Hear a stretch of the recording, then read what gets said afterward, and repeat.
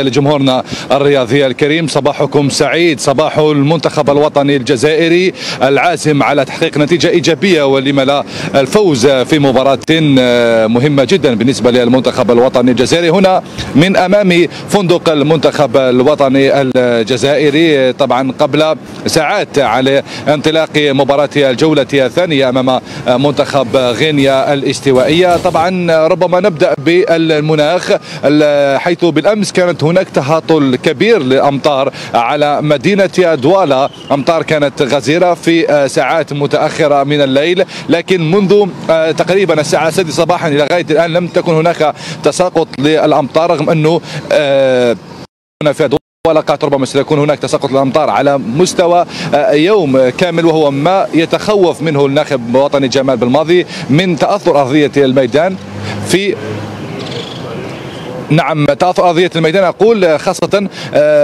تسبق مباراة المنتخب الجزائري مع منتخب غينيا الاستوائية مباراة كوت ديفوار مع منتخب سيراليون طبعا فيما يخص برنامج المنتخب الوطني الجزائري كان من المفروض أن تكون هناك حصة مشي للاعبي المنتخب الوطني. طبعا ما هو معهود دائما حصة استرخاء في محيط الفندق أو في مكان مع التنقل من خلال الحافلة لكن تم يعني تغيير في البرنامج ولن تكون هناك حصة مشي بالنسبة للمنتخب الوطني الجزائري تخوفا من ارتفاع في درجة الحرارة أو تخوفا من نعم من الأمن عفوا أو تخوفا من الأمن لأنه طبعا هذه أمر كانت الكثير من الجهات الأمنية هنا طلبت للاعبين وأيضا بعثات المنتخبات بتوخي الحذر والحيطه خاصة بعد التهديدات التي كانت سابقا. لهذا فضل المنتخب الوطني الجزائري إراحة لاعبيه في الفندق ربما يكون المشي داخل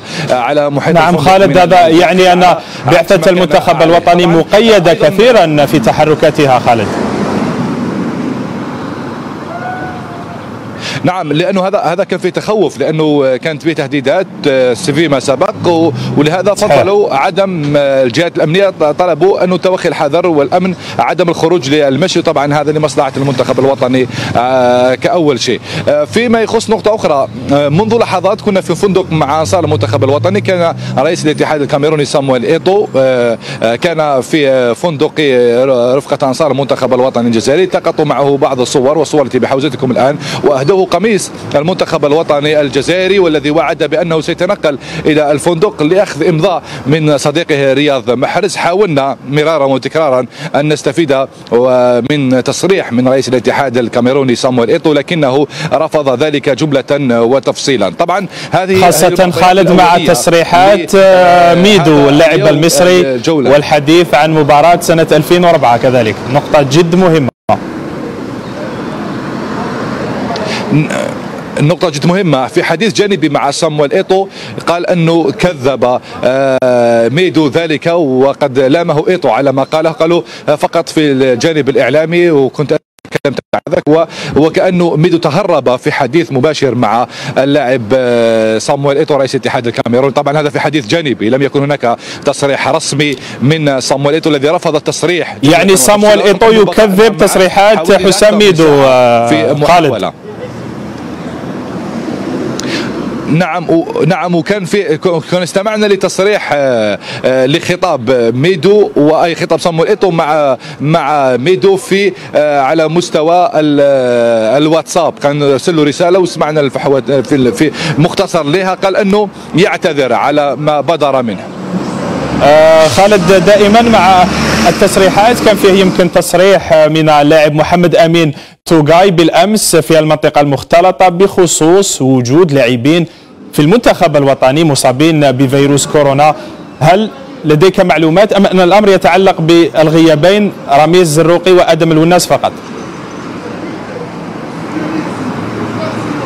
هو بالأمس كان غياب رميز الروق عن الحصة التدريبية وأدم مناس بالإضافة إلى الحارس زغبة، الحارس زغبة كان لدى حديث جانبي مع مقربين داخل بيت المنتخب الوطني قال أنه هو آه، تعرض إلى آه، نزلة زكام فقط الحارس زغبة، لكن فيما يخص رميز الروقي وأدم والناس خاصة بعد تصريح آه، اللاعب توغاي لشروق نيوز في المنطقة المختلطة أنه يتمنى الشفاء للاعبين من فيروس كورونا. تؤكد رسميا أنه إصابة هذا الثنائي بفيروس كورونا لكن الحالة مطمئنة لأنهما بدأ يشفيان من فيروس كورونا خاصة أنه حصة أول أمس تنقل على انفراد إلى الحصة التدريبية وهم في الفندق هنا في الداخل حسب المعلومات التي بحوزتنا عز الدين أنهم معزولين عن مجموعة المنتخب الوطني خاصة بعد أيضا التجهيزات الموجودة لكشف عن فيروس كورونا الجهاز الذي تم استخدامه من الجزائر وأيضا ب أطباء من الجزائر يتم عملية الكشف عن كورونا آه، يوميا والنتائج تكون بعد 20 ساعة. أدم الناس ورميز الروقي أو 20 دقيقة فقط. 20 دقيقة. زميل أبو جمعة وجاني يصحح لي المعلومة. يعطيك صحة ازدين آه، يعطيك صحة أبو جمعة. نعم آه، خالد هل أنت متفائل يعني كسؤال أخير بمباراة اليوم وأنت القريب بطبيعة المنتخب الوطني؟ نعم.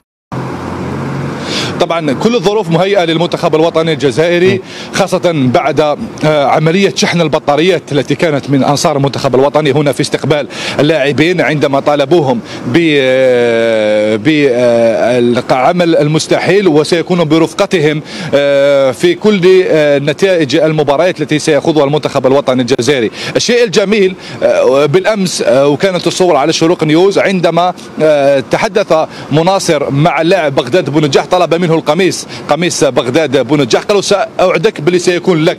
قالوا إمتى؟ متى سيكون هذا القميص؟ قالوا إلى إلى غاية النهائي. وهذا دلالة على الطموح المتواجد عند لاعبي المنتخب الوطني بان حملة الدفاع عن اللقب ستكون آه، في هذه المباراة. مباراة آه، اليوم إن شاء الله.